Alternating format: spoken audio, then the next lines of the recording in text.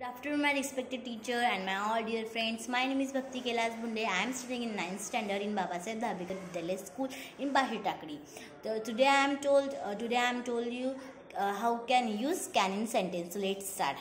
First is positive I can play मी खेळू शकते you can play तुम्ही खेळू शकता वी कॅन प्ले आपण खेळू शकतो दे कॅन प्ले ते खेळू शकतात शी कॅन प्ले तो खेळू शकते शी कॅन प्ले ती खेळू शकते इट कॅन प्ले ते खेळू शकतात मनस्वी कॅन प्ले मनस्वी खेळू शकते next is negative I can not play मी खेळू शकत नाही. यू कॅन नॉट प्ले तू खेळू शकत नाही.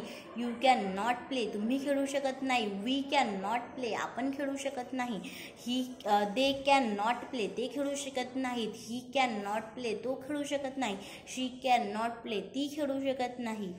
इट कॅन नॉट प्ले ते खेळू शकत नाही. Manasvi can not play Manasvi खेळू शकत नाही. Next is positive interrogative can I play मी खेळू शकते का? You can you can you play तू खेळू शकते का? कॅन यू प्ले तुम्ही खेळू शकता का? कॅन वी प्ले आपण खेळू शकतो का?